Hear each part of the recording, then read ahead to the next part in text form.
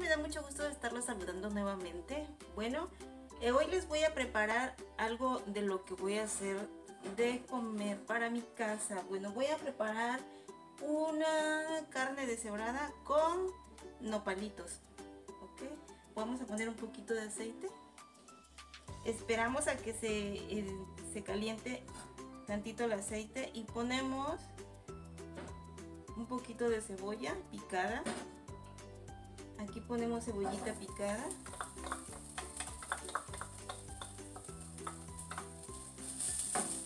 Vamos a dejar que la cebolla se fría bien hasta que quede transparente. Ya una vez que la cebolla se empiece a cristalizar le vamos a agregar aquí nopales eh, cortados en, en, tiritas o como usted los quiera cortar ya estoy cocinando de prisa porque ya es tarde y como acabo de venir de mis actividades entonces ya me tuve que poner a cocinar rápido y aquí aprovecho para para compartirles a ustedes. Miren ya que está la cebolla así eh, este, blandita que ya se empezó a caramelizar nopales.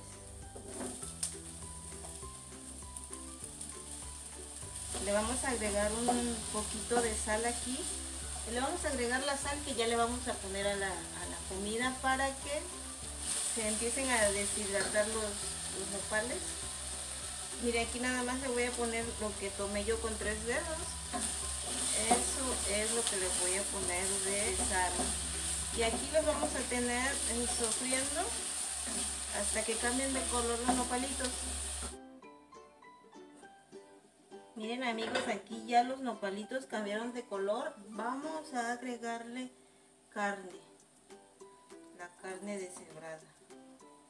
Okay. esta carne deshebrada yo ya la tenía ahí porque este ayer eh, la ocupé.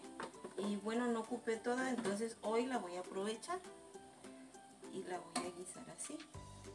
Ya ustedes para hacer la carne deshebrada pues ya deben saber cómo se hace no bueno de todos modos les comento nada más tienen que ir a la carnicería comprar carne para deshebrar. Así se pide acá en Veracruz.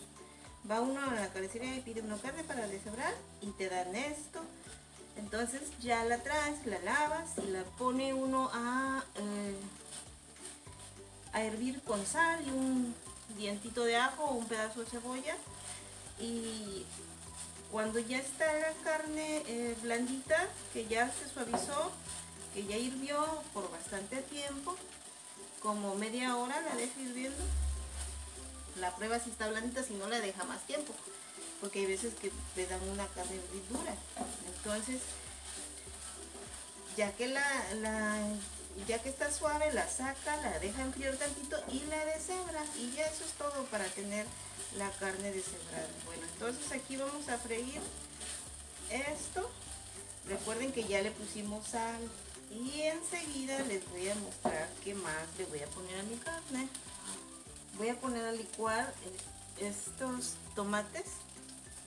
Aquí tengo tomate y un ajo. Cebolla ya no porque ya le puse. Entonces esto lo voy a poner a licuar bueno ya lo puse aquí en la licuadora lo voy a llevar a licuar y enseguida regreso aquí con ustedes para mostrarles qué más sigue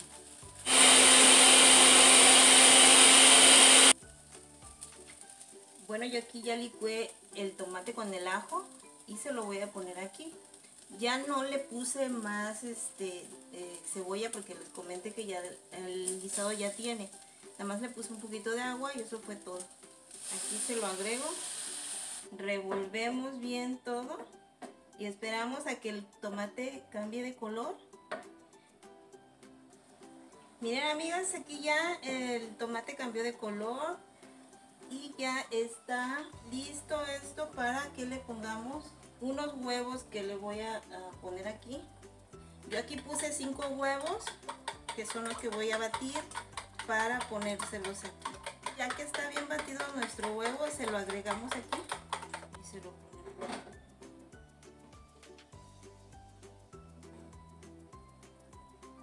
Revolvemos bien para que no se pegue. rectifican de sal si quedó bien y pues ya le ponen a gusto de, de ustedes, ¿sale? Pero eso es todo. Ahora lo vamos a tapar y lo vamos a dejar que se cocine todo junto aquí. Lo dejamos unos cuatro minutitos de aquí eh, que se cocine todo junto. Tapamos y le apagamos. Lo ponemos a flama baja para que no se, se nos pegue. Porque como se va secando cada vez más, pues se puede pegar, ¿sale?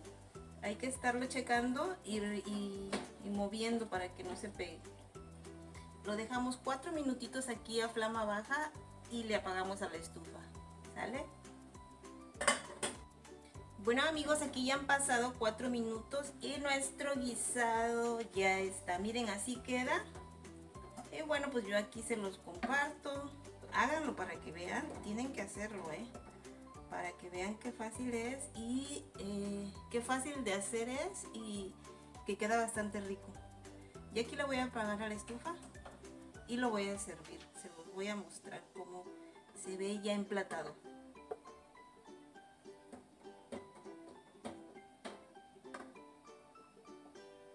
Así quedó nuestro plato de carne deshebrada con nopales. Tienen que hacerla, amigos, porque queda bastante rico y es algo bien sencillo de hacer y bastante económico. Yo ya la guisé de, así de rapidito porque el tiempo ya saben que va corriendo. Esto lo pueden acompañar con frijolitos refritos o con un arrocito rojo y una salsita verde. Y bueno, queda ideal para una comida fuerte de mediodía. Espero que les haya gustado. Si les gustó el video, regálenme un like. Suscríbanse al canal los que aún no lo han hecho. Y los que ya están aquí, pues muchas gracias por estar. Compartan el video en todas sus redes sociales, ¿ok? Nos vemos en el siguiente video. También les invito a que me sigan en mi página de Facebook y en Instagram.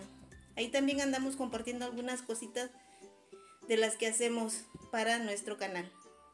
¿Sale? Bueno, me despido. Bye. Que Dios les bendiga.